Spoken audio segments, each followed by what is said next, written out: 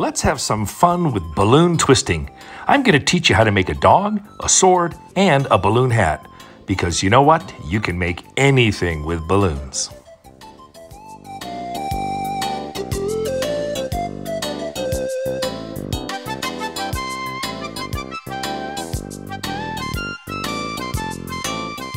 Always start your balloon twisting on the end where you tie the knot.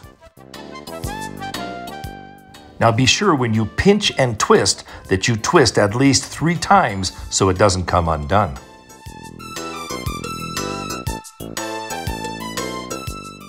Now that we've made the ears and head, let's make the front set of legs. You do the same thing. You pinch and twist three times.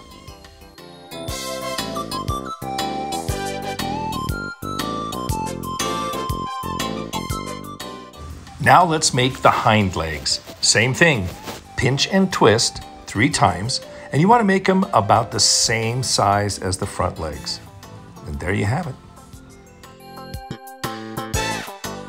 Now let's make a pirate sword, and we're going to use the same techniques that we used to make the dog.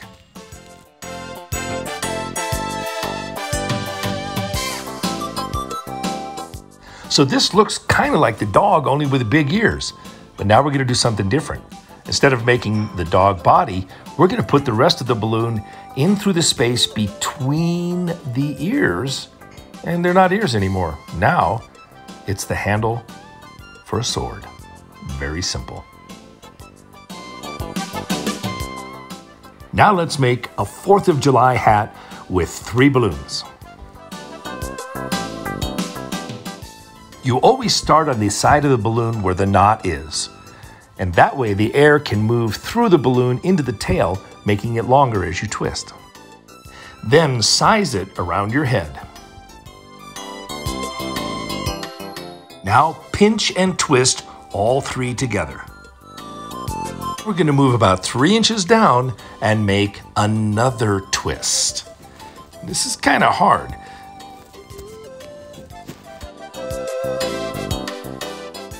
Now you bend the ends around and twist around that bubble that you've just created. And this is the fun part.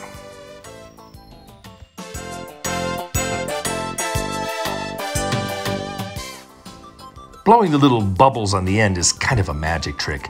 See if you can figure it out. There you have it.